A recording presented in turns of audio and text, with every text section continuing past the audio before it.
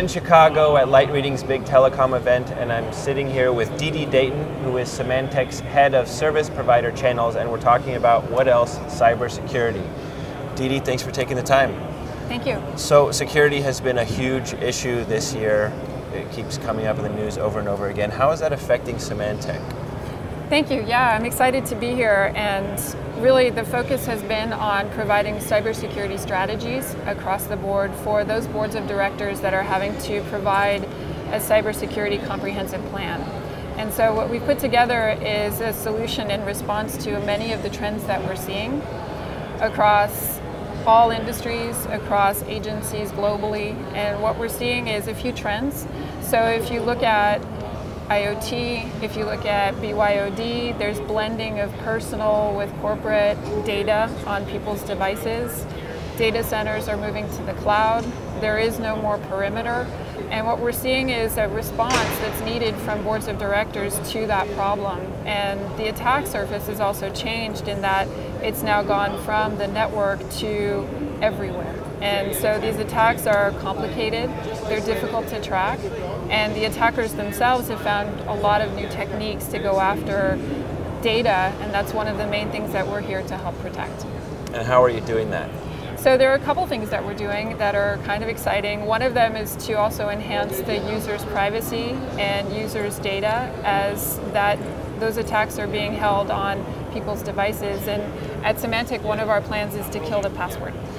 So we're seeing that the password is, uh, if you look at some of the attacks that came through, like um, in Forbes last week, you have 1.2 billion passwords that were stolen off of websites. And that is one of the key areas that the attackers are looking for is how do they get their hands on the data? And the answer is through the password.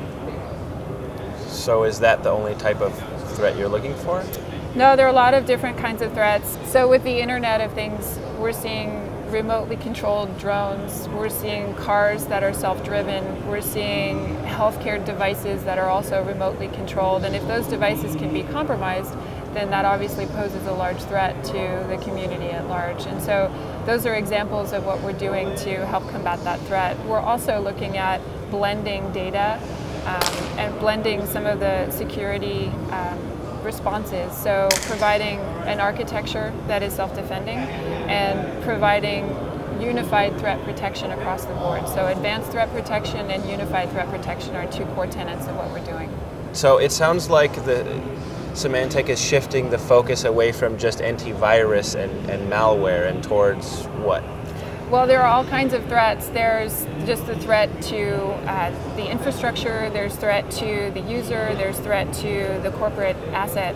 And so when you look at these threats, it's not just about antivirus. That's really the old school thinking. And today, the new the new trend is all about being able to do data convergence and being able to do analytics and reporting so that as a user, your experience is the same whether you're logging in from your email in one place and then five minutes later our analytics say that you've also logged in in Russia, that's a problem.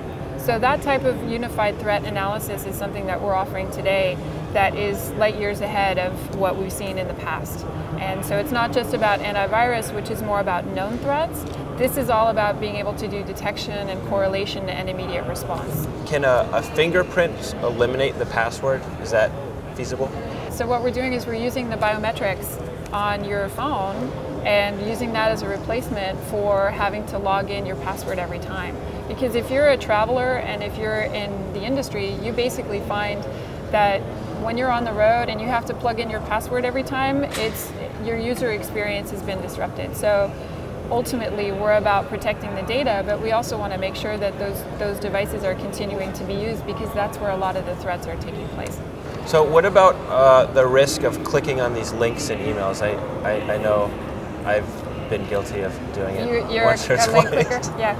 It's, it's, it's not uncommon, and, and really what it happens is what happens right immediately thereafter. And what we're trying to do is the prevention before that attack is carried out when you click on that link, so that that malware is never downloaded onto your system. And so that if there is a problem, then we can see it ahead of time. So what we're doing is adaptive response, and we're offering networks and systems that are basically ready to be self-defending. And the partners it's particularly important for the service providers in anticipation of your question. Okay. Um, it's particularly important because they own the infrastructure that the customer is using to run that data across, and they're also responsible for securing that data.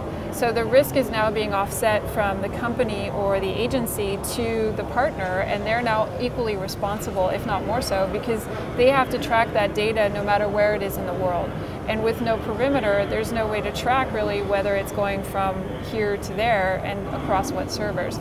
So maintaining that data integrity is absolutely critical to the service providers, and having a solution that is completely architected for the customer is something that we've built. So we've made it easy to buy, we've made it easy to sell, we've made it easy for the customer to offer a complete comprehensive uh, security solution. So it sounds like you're doing a lot of things and really changing the, the the focus, but as, as we know with adversaries and, and the bad guys, you can never be too many steps ahead. So where are we going? What's next? the next generation of what we're doing is taking sensors from the partners' environments and combining that with our analytics capabilities and offering a complete, comprehensive, advanced security solution. So the ultimately what that will look like is being able to tell that board of director who's not a savvy security person we're protecting our users, we're protecting our data, and we're protecting the infrastructure, and basically offering a complete analytic and adaptive response. And that will cover all devices? It covers everything from the network to the perimeter to the cloud and the, all of the solutions that we're coming out with in the next few months are, are ready for cloud. So that's a really exciting place for us to be. Yeah, and important. And very important place to be. Very cool. Well, Didi, thanks so much for taking the time. All right, thanks so much.